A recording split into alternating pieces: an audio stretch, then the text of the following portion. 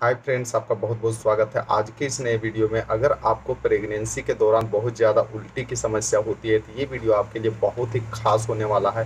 क्योंकि इस वीडियो में मैं आज आपको बताने वाला हूँ कि कौन सी टैबलेट का इस्तेमाल करें जिससे कि आपकी जो समस्या है प्रेगनेंसी के दौरान वोमिटिंग वाली, वो बिल्कुल से ठीक हो जाएगी।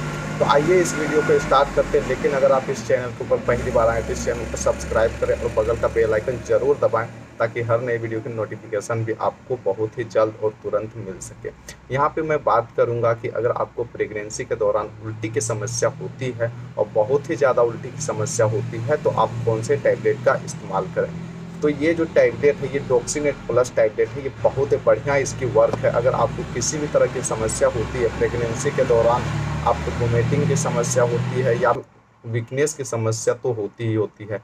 तो उस स्थिति में अगर आप इस डॉक्सीनेट प्लस टैबलेट का इस्तेमाल करते हैं तो ये बहुत ही बढ़िया ढंग से काम करती है।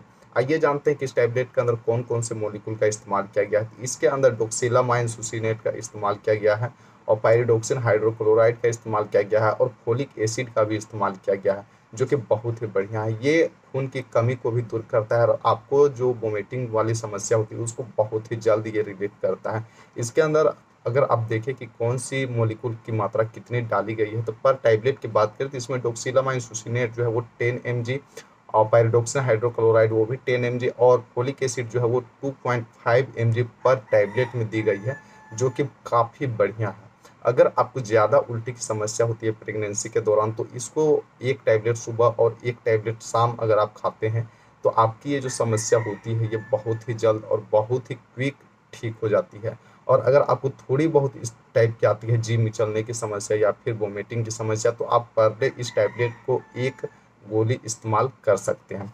आइए देखते हैं कि इसके अंदर किस प्रकार की टैबलेट होती है और किस प्रकार की स्ट्रिप होती है। तो यहाँ पे इस प्रकार की स्ट्रिप जो है, वो आपको मिलने वाली है। यहाँ पे थर्टी टैबलेट्स जो हैं, वो मिलते हैं और ये टैबलेट की साइज़ जो है, वो काफ़ी छोटी है। तो इसे आप आसानी के साथ जो है ले सकते हैं, इसमें कोई भी समस्या नहीं होती है। इसके प्राइस की अगर हम बात करें तो पुरानी प्राइस जो है वो two hundred and ten rupees है थर्टी टैबलेट की।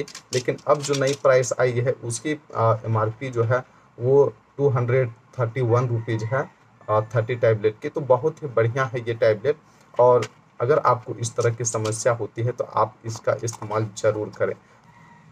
और एक बात का ध्यान रखें कि आप इस टैबलेट के इस्तेमाल से पहले आप अपने डॉक्टर की सलाह भी एक बार ले लें ताकि आपको और भी किसी भी तरह की कोई भी समस्या ना हो। तो मिलते हैं इसी तरह की नेक्स्ट वीडियो में, तब तक के लिए टेक केयर जय हिंद, वंदे मातरम।